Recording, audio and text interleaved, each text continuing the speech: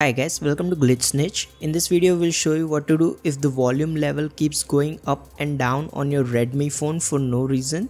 So to fix this, the first thing you can try is pressing the volume up button and the volume down button together three times. So you don't need to hold these buttons, you just need to press them together three times.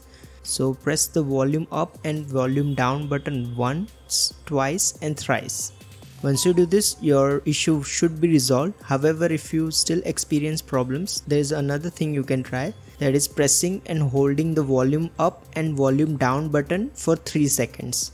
Once you do, this will turn on the talkback feature on your Redmi phone. Once the talkback feature is on, you can press and hold the volume up and volume down button together to disable the talkback feature. Once you do this, your issue should be resolved However, if you still experience problems, there's another thing you can try.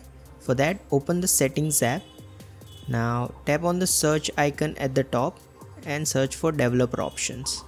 If you don't see the developer options entry, there's no need to worry about it. You can skip to the next solution. However, if you do see the developer options menu, tap on it and turn it off.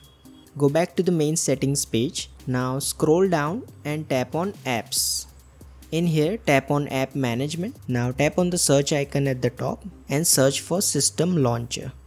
Once you find it tap on it. Now in here scroll down and tap on this storage usage option. In this menu tap the clear cache option. Now tap the clear data option and hit delete to confirm. Once you do this, your issue should be resolved. However, if nothing else works, you can try restarting your Redmi phone as a last resort.